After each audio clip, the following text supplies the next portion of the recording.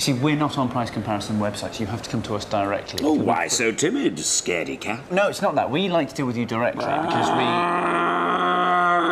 Ah, it really is quite straightforward. We're not on price comparison websites because we prefer to deal with our customers direct. Direct Line.